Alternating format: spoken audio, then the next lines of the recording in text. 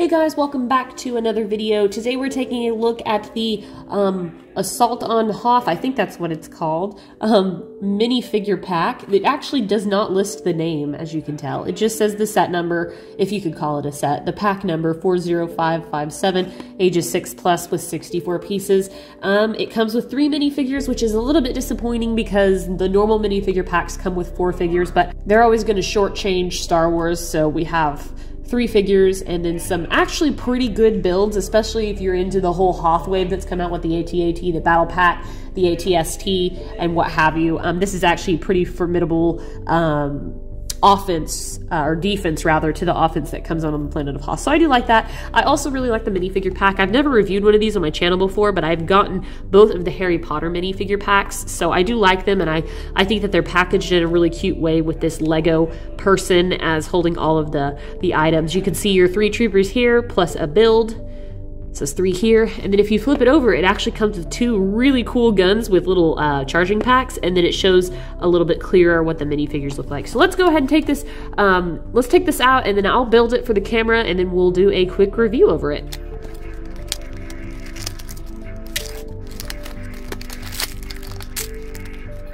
These instructions are so tiny, they're supposed to be folded like this, and it looks like a teeny tiny instruction booklet. It's really cute, but it actually does fold out.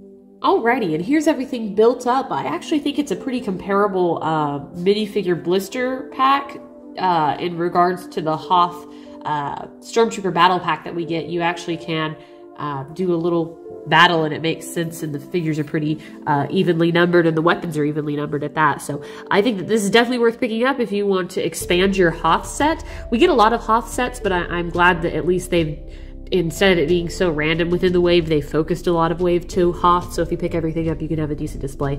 But anyways, um, it comes with obviously three big guns. So we have this like large turret here, which is controlled by a couple of handlebars or a pair of handlebars. Um, and it doesn't have any action to it. There's no like stun shooter or anything, but it does move, so it moves around. Uh, so that's kind of cool. You can pivot it or rotate it. I do like the little uh, add-ons to look like snow or ice that it's like been built into the terrain of Hoth. I think that looks really nice and again solidifies the scenery that you're supposed to have with this. And then you get two of these and they're they're not like E-Web blasters because they're on the Rebel side, but they're very similar and I actually like their build better uh, with this like, I guess they're more cannony maybe. Um, and so I like this like single tube. I think it looks cleaner. Um, and then I like this little clear triangular piece. Now, I don't like the way that the tripod is composed of guns. Uh, I mean, it's good if you're needing more weapons, but I think it just looks so obviously like guns like blasters on the the tripod legs that it just looks goofy a little bit to me. Um, and then they do come with these like little charging battery pack control thingy. I don't know have any idea what these are but they look really nice next to the gun. Um, i think those look cool. So you do get two of those. So there is a weapon for everybody to fire since you get three minifigures and to be honest, out of the two blister sets right now that we have for Star Wars, this one is better in terms of new minifigures since we do get the repeat um, clone trooper commander or sergeant or general, whatever he is. Um, so he's technically a repetitive figure. These are all three listed as new in Bricklink, so taking a look first at this guy, um, and I think he might be the superior officer here. It's hard to tell, uh, but he is dressed a little bit differently, though his legs are more plain. Um, I do like his vest, and then he has some sort of uh, ranking on his chest there, and then he has an angry face and then on the back, he has a relatively bored looking face. Now, just like we've always seen with Hoth Troopers, they give us these glasses that you could technically wear like this, but I think they look really dumb, honestly. I have never liked this design um, because it covers like their entire face. Like these goggles are just supposed to cover their eyes, but it covers their whole uh, face. So I always keep them up top. Um, I think they look much better that way, but he's pretty cool.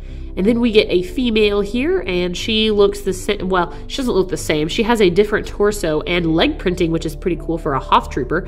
Um, definitely some more equipment on her uh, snow vest there, and then her rank is clearly different. She has a belt with some pouches, um, and she has the same hat, and then she's uh, like a darker color, and she's angry and is only one sided. I think it's interesting that the two males have two sided faces, and then the female just has one stern face. And then this guy is my favorite. He is dressed exactly like the girl, um, but obviously he is a black dude, and I think he looks really good. He even has little, I guess there's spots of gray in his beard, but you could almost think they were spots of snow. Uh, he looks just so good. I love him.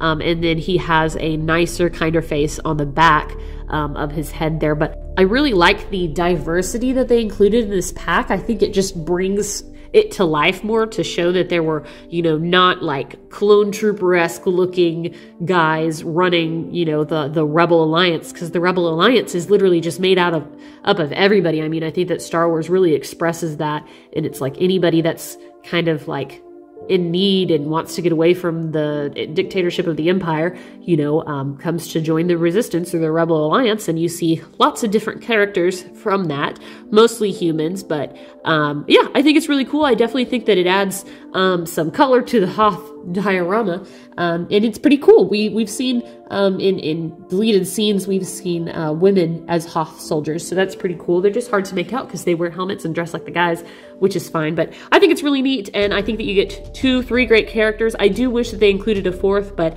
um, you do get some decent weapons. And again, if you set this up against the newest battle pack, it is pretty formidable. So, anyways, guys, I hope you like this video. Let me know what you think in the comments below, and until next time, I will see you guys later.